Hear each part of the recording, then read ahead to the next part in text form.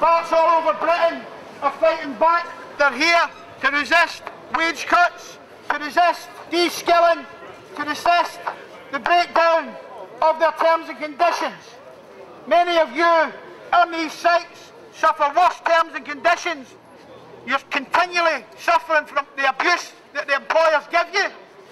Come out here and show your solidarity with the electricians that are trying to do something, and not only on their own behalf, but in behalf of others in the industry.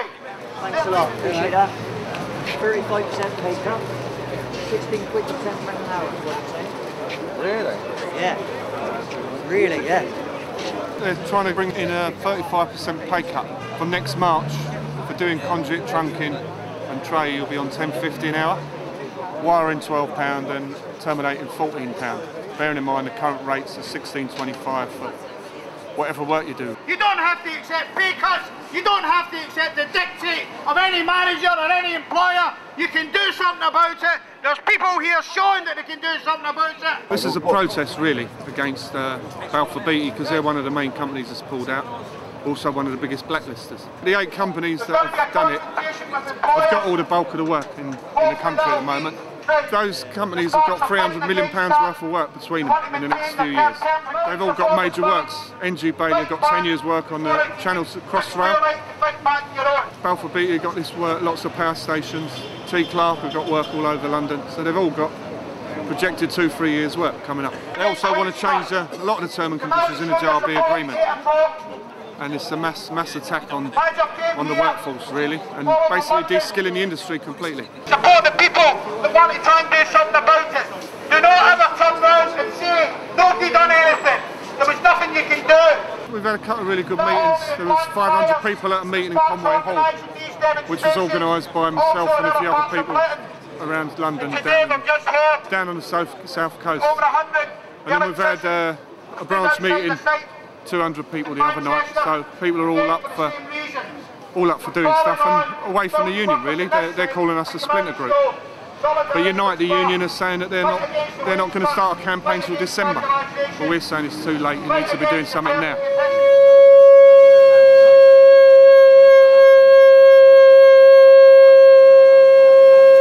If we wait for them we'll, we'll get nowhere and this agreement will come in. So people are very angry and decided to move on without the union. Last time they tried to cut our pay was back during the Jubilee line and they tried to cut our pay then by de-skilling all the sparks and there was a dispute on the Jubilee line, on Pfizer's, on the Royal Opera House and across the country. But we stopped them introducing the pay cut. Today, they're trying to introduce a 35% pay cut across Sparks. If they introduce it for Sparks, they'll try and introduce it for bricklayers, for painters, for carpenters as well. What we're trying to do is send a message. Send a message to NG Bailey's. Send a message to Balfour Kilpatrick's. Send a message to Tommy Clark's. We're not going to stand for it. We defeated it twice before, It's SMA, so let's have another go and make sure we put this back to where it should be, back in the trash bin. All those in favour of carrying on the action and leading this around the country, put your hands up now.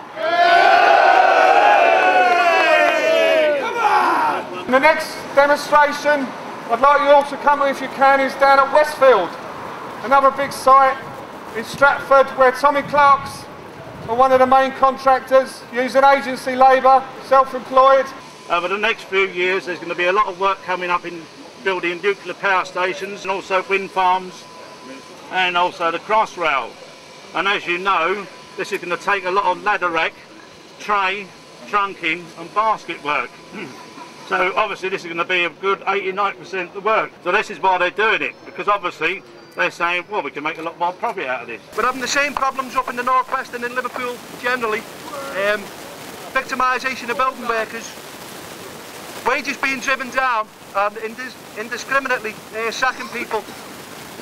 What we're hoping for with demonstrations like this, it'll get out to the wider world and hopefully we can expose some of these companies and get something like the, the building industry back to what it was 10, 15, 20 years ago. Over the last five years, especially when you have to be a subcontractor, a subby going through agencies, you're treated with complete contempt. Do you want to be treated with complete contempt?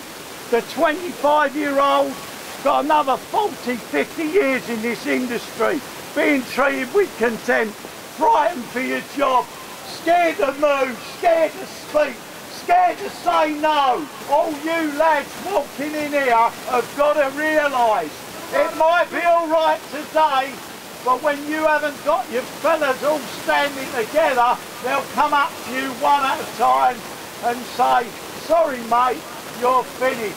A couple of years ago, I had to have the keyhole surgery on one knee, followed by uh, another operation on the other leg, a couple of months later. And the nurse said, oh, you must be using up all your sick time, all your sick leave. I said, what sick leave? We don't get any. I said, all we do, you've got to be out sick for two weeks, and on the third week, you might get 140 quid. For the two weeks or three weeks you're out, while your leg's getting better, you get nothing. Up until the end of November last year, I was a convener in the car industry. And we have spent the last 10 years in that industry having employers saying to us, well, you just take a little bit of change to your terms and conditions and I'll be okay and we'll return to profitability. Well, let me give you a warning from the car industry and other industries around the country. As soon as the employers have a victory, they don't just tap on the shoulder and say thank you very much, we won't be back. They come back again and again and again. You've got the workers coming in from, from abroad that do it a lot cheaper. It's not their fault. If they're earning 50 quid a week back home and they're told they can work over here and they get double the pay or even triple the pay, you think they think to themselves, bloody hell, yeah, I'll go there. Anybody would if you can earn three times as much money.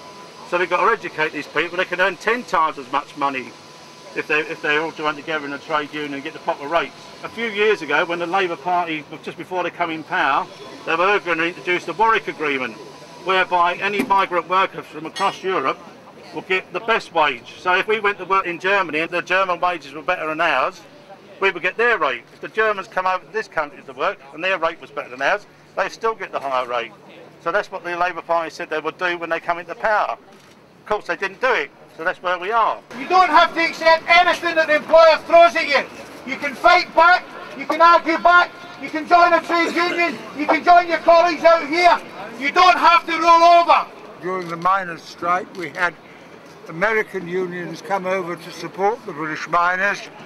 And one of the American unions described solidarity. He said, we had a, a, a pit that we closed in our pit village and uh, a little boy fell down it.